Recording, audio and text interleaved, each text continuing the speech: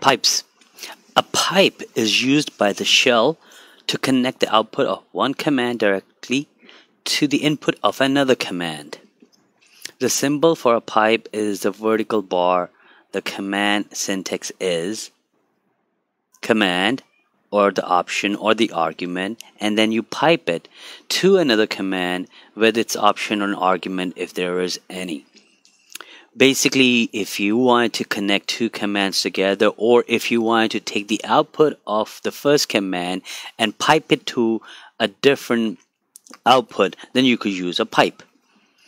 In a Mac keyboard a pipe is somewhere the key all the way to the right that looks like that.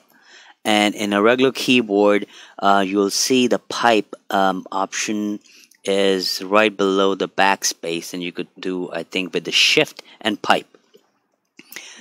Um, so the way it works is you have a uh, you have a command. It goes into a pipe and it comes out the output. So let's say if you have ls minus l that's a command you run.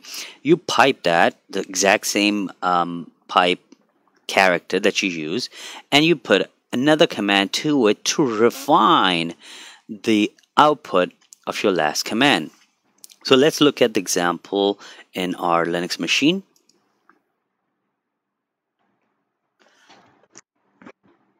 If we are in slash etc directory, by the way, where we are, we are in our home directory. So if we if we go into cd slash etc, now this directory has a bunch of files and directories which you cannot view all in one page. It will display all at once, but everything will scroll up so fast that you wouldn't even able to view one by one. So when you do ls minus ltr, you hit enter.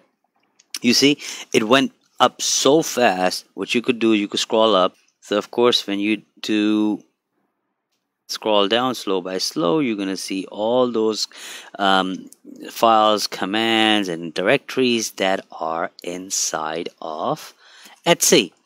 Now you want to view all of them one page at a time. So how do you do that? The way you do it you put it in a pipe. So you first you do ls minus ltr you pipe it and then there is a new command that I want you to learn which is called more more is the command which gives you the output of a file one page at a time. So when you do ls minus ltr, pipe it and more it, hit enter, go now you will see one page at a time of all the contents of etc directory. And at the bottom it does tell you that it's more.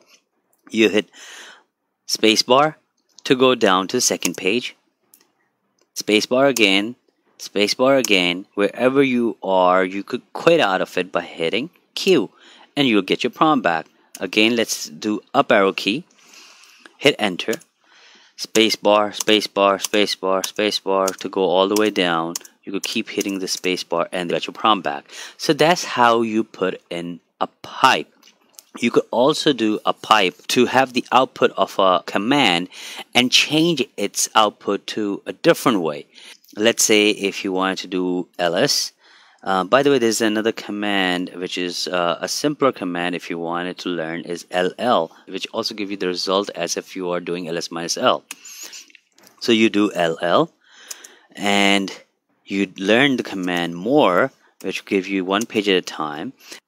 What if you wanted to get the last line of your output? Then you run ls minus l pipe it and to get the last line, you would have to do tail minus 1. It gives you the last line of your output.